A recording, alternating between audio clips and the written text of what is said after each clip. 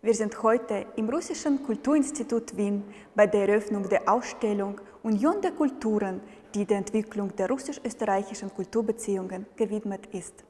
Heute werden drei begabte Künstler präsentiert: Johann Rumpf, Stas Miroschnikow und Maria Kapelova.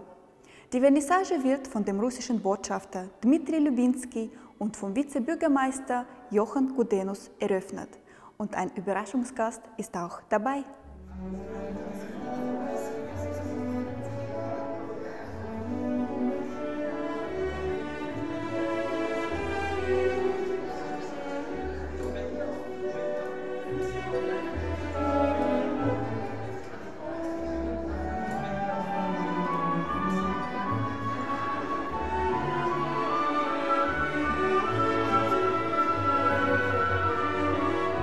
Ich begrüße Sie recht herzlich heute Abend im Russischen Kulturzentrum in Wien aus Anlass der äh, Eröffnung einer sehr interessanten Ausstellung Union der Kulturen, auf der man sehr schöne Gemälde von russischen und österreichischen Künstlern genießen kann.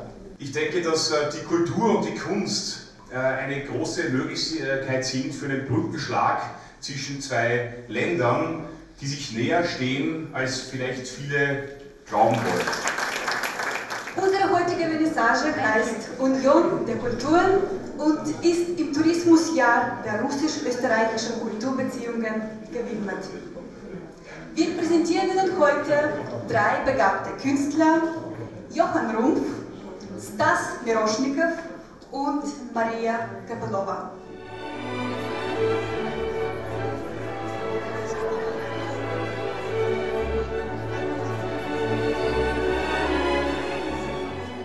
Добрый вечер, добро, добро пожаловать. Es freut mich sehr, alle unsere Gäste heute Abend im Russischen Kulturzentrum in Wien begrüßen zu dürfen.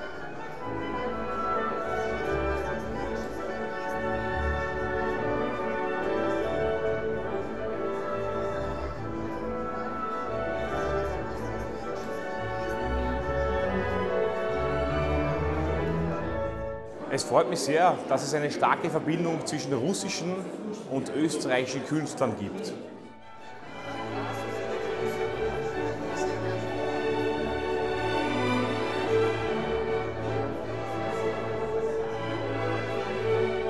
Das ganze Leben ist eine Kunst und es ist eine Kunst zum Leben. Und äh, ich sehe diese schönen farbigen Bilder hier. Es ist sehr inspirierend, ja. Es ist aufmunternd. Ja, wenn man die Bilder sieht, ist es fast wie ein ewiger Frühling.